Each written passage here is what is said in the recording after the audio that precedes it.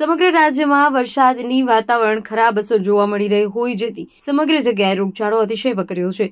જેમાં હાલ રાજકોટ જિલ્લાના ઉપલેટામાં પણ ઋતુની અસરને લઈ રોગચાળામાં વધારો જોવા મળ્યો છે. જેમાં તાવ, શરદી, ઉધરસ તેમજ ઝાડા ઉલટીના કેસો વધ્યા છે. ત્યારે ઉપલેટા કોટેજ હોસ્પિટલમાં સ્થાનિક તેમજ આસપાસના તાલુકાઓમાંથી આવતા પેશન્ટોમાં ધસારો જોવા મળ્યો છે. જેમાં વધુ પડતા રોગો, વાયરલ ઇન્ફેક્શન અને ઝાડા ઉલટી, શરદી, ઉધરસના જોવા મળી રહ્યા છે. જેથી હાલ સરકારી કોટેજ હોસ્પિટલમાં ડોક્ટરોને, નાના બાળકો અને વૃદ્ધોને શરીરની કાળજી રાખવા તેમજ ઇમ્યુનિટીને જાળવી રાખવા બહાર ન નીકળવા.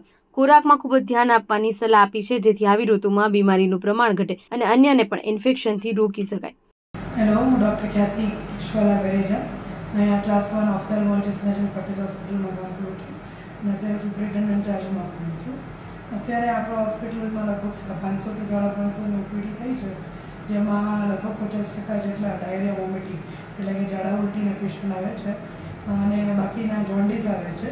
એટલે અત્યારે એટલું કહેવામાં આવે કે પાણી ખૂબ ધ્યાન રાખીને પીવું જેમ ત્યાં બીજે પીવું નહીં ફિલ્ટર્ડ પાણી પીવું, ઉકાળેલું પાણી ઘરે હોય એ સૌથી બેસ્ટ હોય.